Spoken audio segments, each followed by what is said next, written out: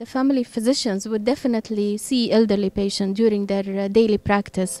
Uh, they are supposed to uh, to be able to handle the cases from a multidisciplinary way and uh, leave the referral to the uh, tertiary or secondary uh, care to the end.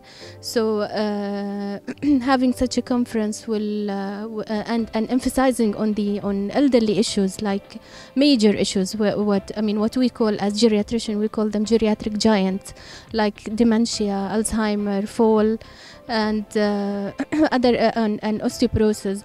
I think it's a must for the family physicians now to be able to handle these issue, the, these problems in order to provide the, the uh, better and the proper care for their clients. It was more than excellent. Uh, I was very happy to chair uh, this session, and hopefully we can do it next year. Uh, I'm very proud that the session was very successful, attracted so many uh, um, uh, audience to come and listen, and we had a great interaction from the speakers and from the audience. Uh, the topics were really good.